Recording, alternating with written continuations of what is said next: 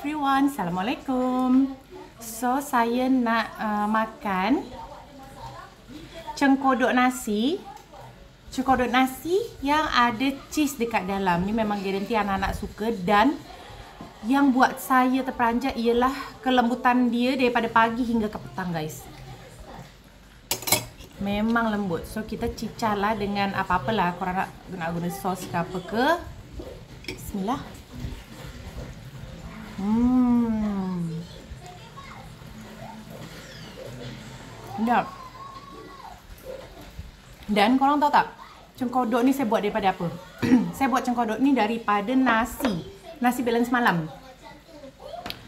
So, uh, bila kita buat cengkodok nasi ni, macam hari tu, saya buat uh, Caca makan dalam 6, 6 ketul macam tu. Dia kata, Ya Allah kenyangnya perut Umi. Dia kata, ah, maknanya kita tak payah uh, tak ya maksudnya berfikir untuk anak-anak breakfast apa maksud saya lah susahnya aku nak bercakap.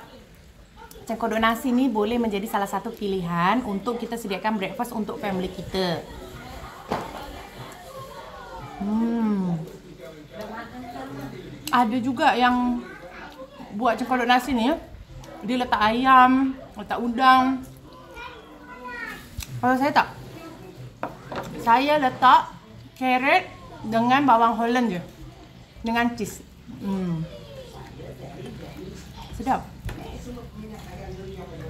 Nasi tu nasi tu tak semestinya banyak macam hari ini nanti saya nak share resipi dekat korang. Nasi saya ada satu genggam aja tu macam tiga sudu makan je tak banyak. So blend je dengan air.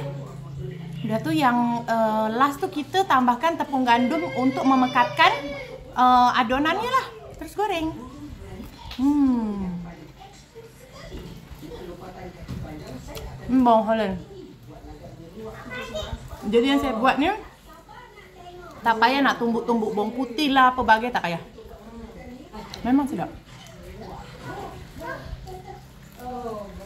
Hmm.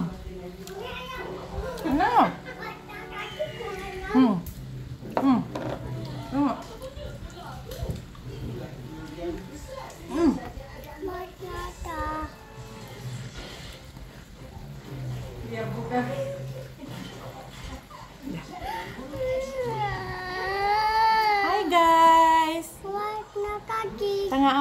Sakit guys. Okay, so korang terus tengok YouTube channel saya, jangan skip. Saya nak kongsi resipi cengkodok nasi by Umi Cantik. Hi everyone, Assalamualaikum. Welcome back to my YouTube channel. Pagi ni saya nak buat breakfast untuk anak-anak. Eh, untuk kita semua lah. Tapi anak-anak memang suka gila dengan breakfast ni. Sangat-sangat simple, mudah. Okay, saya nak buat cengkodok nasi. Ni nasi balance malam. Ada sikit je tapi tak kisahlah nak sikit ke nak banyak boleh. Ya. And then tepung gandum. Tak kisah jenama apa. So dekat sini ada carrot, satu butir telur, bawang holland saya guna separuh saja dengan cheese. Eh, cheese nanti saya nak uh, pakai suku je.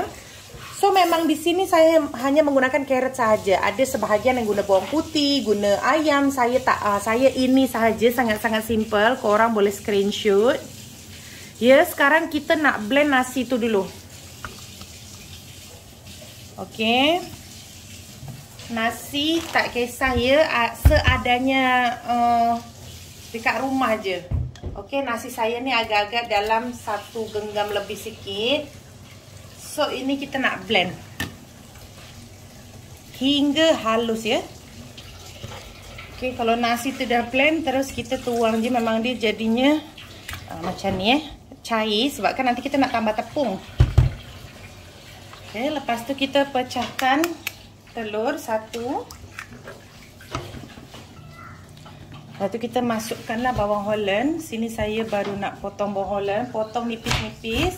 Disebabkan selalunya anak-anak uh, macam kalau bawang ni tebal-tebal dia tak lalu nak makan kan. So kita kena iris nipis-nipis. Dah tu masuk je campak-campak semua. Okey, masuk dalam ni. Masukkanlah juga carrot. Carrot saya uh, parut kasar eh. Masukkan dalam.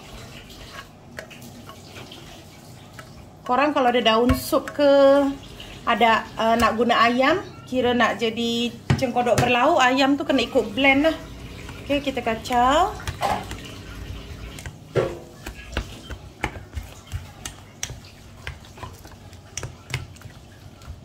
Okey so sekarang kita nak parut cheese. Okey cheese ikut korang saya pakai suku je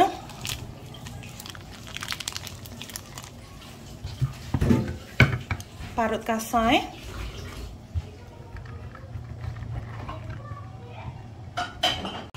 Okey, bila dah siap parut terus kita masuk dalam uh, banjuhan tepung tadi.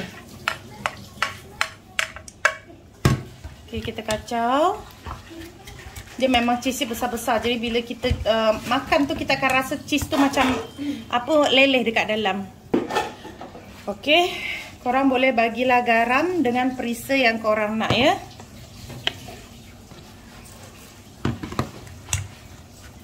Kacau. Lepas tu kita tambahlah tepung untuk memekatkan.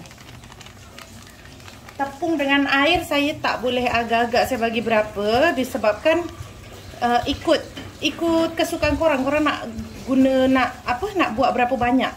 Janji korang nanti buat sampailah uh, apa adonan dia uh, pekat ya lagi pekat daripada cengkodok yang biasa.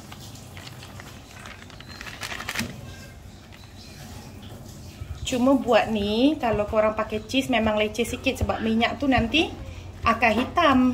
Sebab cheese tu kan kita bukan jenis letak yang dekat dalam. Ha, jadi cheese tu uh, dia macam ikut tergoreng lah. Jadi nanti minyak korang akan hitam. Tapi memang sedap adanya nasi tu buat cengkodok ni lembut aja jadi lembut-lembut rangup macam tu memang sedap. Okey jadi macam ni pekat eh okey so sekarang kita nak goreng. Okey kita goreng panaskan minyak macam biasa. Saya guna dua sudu macam ni. Saya akan bulatkan macam ni. Lepas tu goreng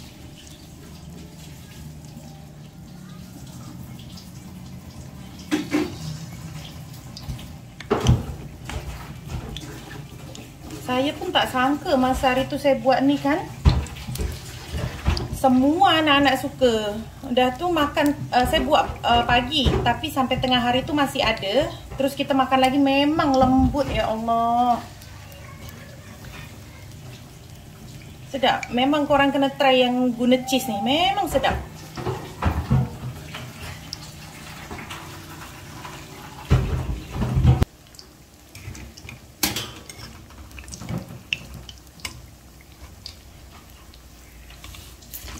api tu tak nak terlampau besar ya sebab kita nak bagi ia masak sekata. Goreng je macam biasa you all tak payah susah-susah tapi memang resipi ni korang kena try. Sangat mudah simple. Korang nak uh, masukkan bilis pun tak kisah eh. Sebab anak saya tak terlampau suka bilis. Boleh makan bilis tapi macam bukan jenis yang sukakan bilis sangat. So saya isi carrot bawang holland dengan cheese sahaja pun dah sedap. Okey, bila dah coklat macam ni, korang angkat. Jadilah macam ni. Okey, so sekarang saya nak habiskan menggoreng dulu. Nanti kita akan tengok macam mana rangup dan uh, rangup di luar dan lembut di bahagian dalam eh.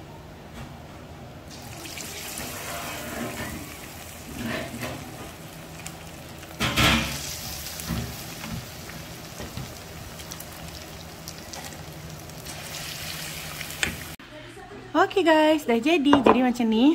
Yang ni dah ada makan. Okay, so kita nak try buka.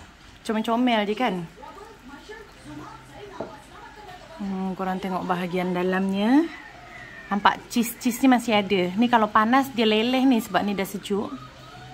Memang saya garanti dia memang akan still lembut hingga ke petang ya. Jadi korang harus try. Jom kita makan dulu.